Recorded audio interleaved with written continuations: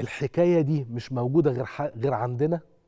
لا هي موجودة في حتت كتير بس إحنا أكتر دولة يتوافر فيها العنصرين دول ده أمر الله.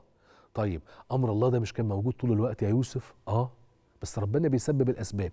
موجود طول الوقت وللأسف بتهمل هذه المعلومات وموجود طول الوقت وما كانش حد بيشتغل على كده. دلوقتي بقى في حد بيشتغل على كده. طب إيه قصة يا سلام سلم لما تبقى الطاقة المستخدمة في عملية الفصل الكهربي ما بين الهيدروجين وما بين الأكسجين تبقى طاقة متجددة؟ لأنه الجماعة الأجانب الجماعة بتوع أوروبا عندهم اشتراطات في كل حاجة. حتى لو أنت هتصدر له طاقة زي طاقات الهيدروجين الأخضر والأمونيا الخضراء بيجي يقول لك طب ومصادر الطاقة اللي أنت اشتغلت بيها إيه؟ هم طول الوقت العالم دلوقتي أصبح بيمضي قدما في إطار إن كل شيء يبقى أخضر.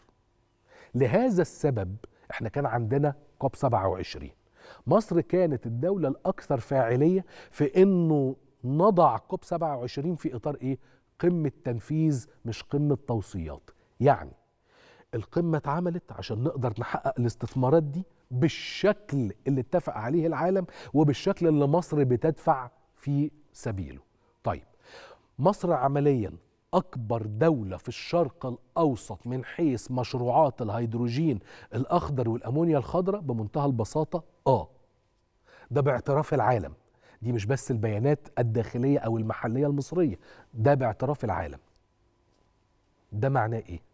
معناه إن أنت بتاخد خطوات اقتصادية أو إجراءات اقتصادية غير سليمة أو متعثرة ولا ده معناه إن أنت في عندك رؤية فيجن استراتيجية؟